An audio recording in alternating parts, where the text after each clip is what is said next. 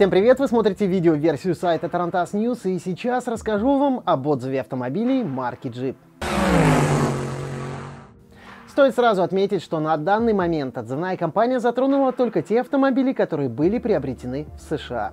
Национальное управление безопасности дорожного движения США сообщило об отзыве 29 818 внедорожников Jeep Wrangler и 3419 пикапов Gladiator, которые оснащены механической коробкой передач. Выяснилось, что температура сцепления на этих авто может достигать 1100 градусов по Цельсию. Это способно вызвать внезапное возгорание машины. Известно, что впервые указанную проблему заметили еще 13 февраля. Тогда диск сцепления перегрелся от трения, что вызвало растрескивание и поломку корпуса коробки передач. После этого специалисты компании Jeep провели испытания и выяснили, что данная поломка может спровоцировать возгорание.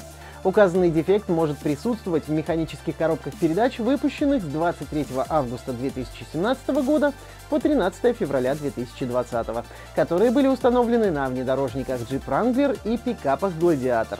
Поэтому компания приняла решение о проведении сервисной кампании и приостановке реализации тех автомобилей, которые уже были отгружены дилером. На данный момент это все. Еще больше новостей ищите на нашем сайте tarantas.news. До скорого!